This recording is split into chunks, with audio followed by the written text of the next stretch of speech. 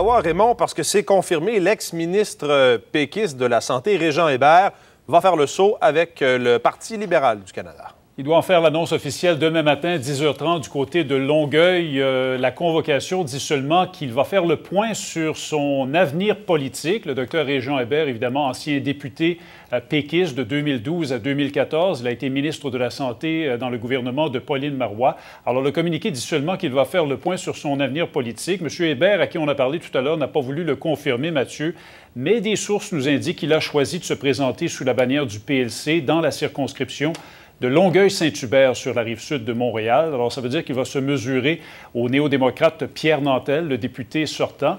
Euh, il y a un mois, M. Hébert, le docteur Hébert, parlait de se lancer possiblement en Estrie sous la bannière du PLC. On sait que c'est la région qu'il a représentée lorsqu'il était au provincial, mais il n'avait pas euh, exclu la possibilité euh, de, de, faire campagne, de se lancer dans un comté de la région de Montréal où il habite actuellement, où il travaille également.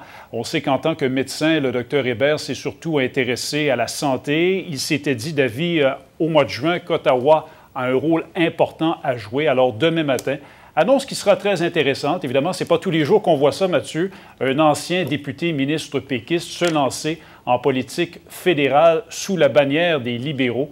Alors, c'est à suivre demain matin, donc, annonce du docteur Hébert à 10h30 du côté de Longueuil. Ça va certainement faire réagir. Merci, Raymond. Absolument.